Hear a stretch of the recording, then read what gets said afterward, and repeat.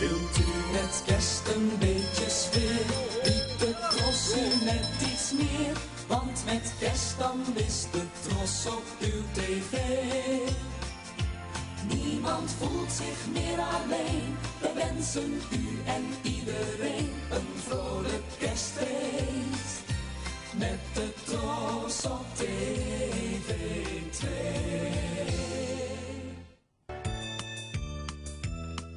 Je beleeft een prettig kerstfeest. Kerstfeest. Tros TV 2. Een heel